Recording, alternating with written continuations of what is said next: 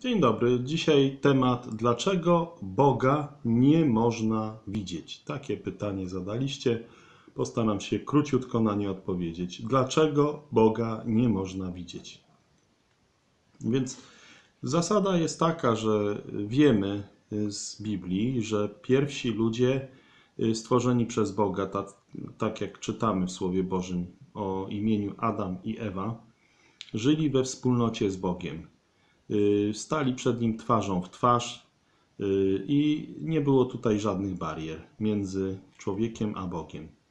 Niestety, poprzez grzech, który też nazywamy w teologii grzechem pierworodnym, y, to przez ten grzech człowiek rozstał się z Bogiem. I tak skończyła się ta pierwotna wspólnota między Bogiem a człowiekiem, między człowiekiem a Bogiem.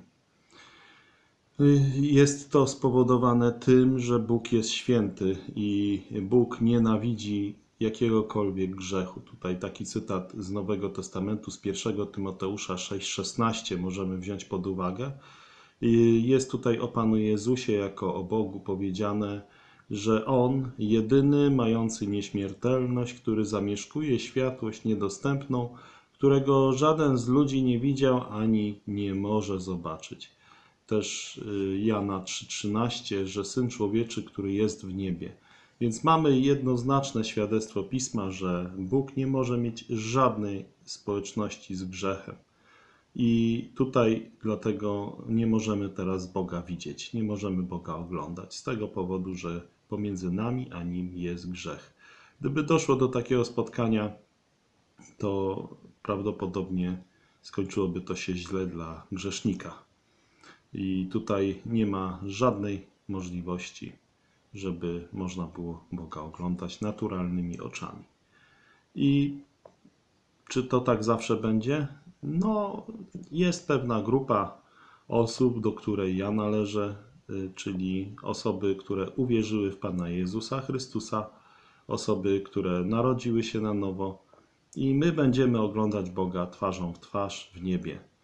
Yy, I ty też możesz do tej grupy się zaliczyć. Wystarczy, że przyjdziesz do Pana Jezusa, uwierzysz w Pana Jezusa Chrystusa, a będziesz zbawiony raz na zawsze, bo zbawienie jest nieutracalne. I też po pewnym czasie albo Pan Jezus zdąży i weźmie cię do nieba żywcem, do nieba i to się nazywa pochwycenie. Mamy to opisane w Ewangelii Jana 14 rozdział od 1 do 3. Mamy to opisane w 1 Tesaloniczan 4, 13, 18 i wielu innych miejscach. 1 Koryntian 15. I Pan Jezus weźmie nas do siebie, abyśmy gdzie On jest i my byli. I będziemy wtedy oglądać twarzą w twarz Boga. Albo śmierć fizyczna złoży cię do grobu, i wtedy w czasie pochwycenia będziesz też zabrany, bo będziesz z tego grobu skrzeszony, w zasadzie też żywcem wzięty do nieba. Więc tutaj nic straconego. Możesz oglądać Boga twarzą w twarz, jeśli przez Pana Jezusa przyjdziesz do Boga z pokutą, w pokucie wyznasz swoje grzechy. Pokuta, czyli zrozumienie tego, że jesteś grzesznikiem, a Bóg jest święty i że bez ofiary Pana Jezusa Chrystusa trafi, trafisz na wieczne potępienie do jeziora ognia i siarki, na które w pełni zasłużyłeś. Zasłużyłeś na to, by być dręczonym dniem i nocą na wieki wieków w piekle.